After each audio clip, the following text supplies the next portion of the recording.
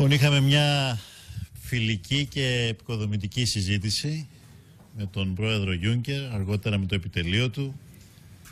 Την παρέα μας αργότερα πλαισίωσε και ο Γερούν Ντάιζεμπλουμ. Το συμπέρασμα αυτής της ε, συζήτησης είναι πως η πρόταση που έχει καταθέσει η ελληνική πλευρά παραμένει η μόνη ρεαλιστική και επικοδομητική πρόταση στο τραπέζι. Βεβαίως από τις προτάσεις που ακούσαμε από την πλευρά των τριών θεσμών θέλω να κρατήσω ως βάση συζήτησης τα, χαμηλά, τα χαμηλότερα σε σχέση με τα προηγούμενα προγράμματα πλεονάσματα. Και βεβαίως υπάρχουν και πολλά άλλα κοινά σημεία. Υπάρχουν και σημεία όμως τα οποία κανείς δεν θα μπορούσε να προσεγγίσει διότι όλοι πρέπει να γνωρίζουμε ότι μιλάμε για μια χώρα που τα τελευταία πέντε χρόνια α, έχει υποστεί μια μεγάλη οικονομική καταστροφή. Χάσαμε το 25% του εκαθάριστου χώριου προϊόντος από πέντε χρόνια σκληρής λιτότητας.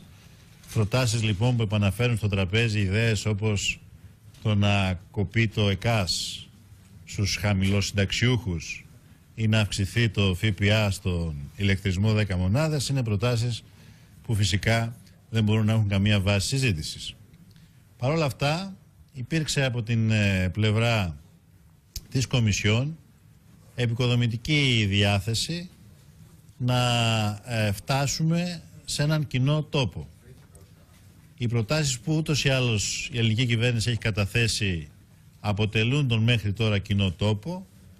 Οι συζητήσεις θα συνεχιστούν και νομίζω ότι το θετικό της σημερινής ημέρας είναι α, η απόδειξη από την πλευρά της Κομισιόν τουλάχιστον, των συνομιλητών μας δηλαδή, ότι υπάρχει διάθεση προκειμένου πολύ σύντομα να καταλήξουμε σε μια συμφωνία ρεαλιστική και επαναλαμβάνω ότι η ρεαλιστική βάση της συζήτησης παραμένει η πρόταση της ελληνικής πλευράς.